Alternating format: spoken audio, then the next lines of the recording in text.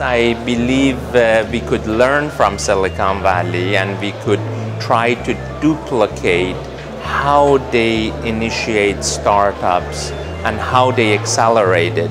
What we have here today um, is, is a manifestation of that.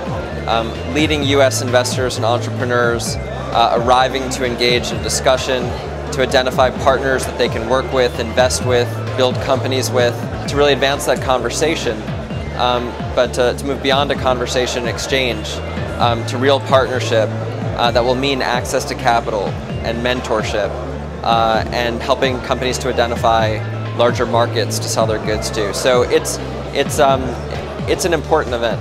Because this is another event, this is another activity that we are all putting, uh, um, putting all our efforts together to try and create more awareness and trying to round up the players in the entrepreneurship or ecosystem to uh, get one step further into more job creation, into more uh, nurturing and uh, mentoring of uh, our uh, entrepreneurs to be.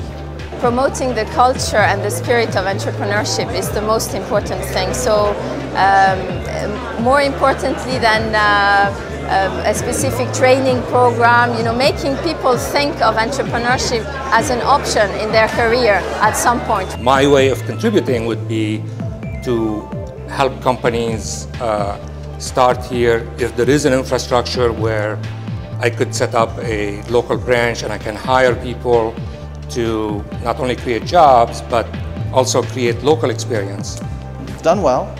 I want to return to Lebanon. I really want to give back and I want to create more opportunities in Lebanon so that we can um, uh, compete globally. We need to exist. We need another alternative to immigrating for all these young folks.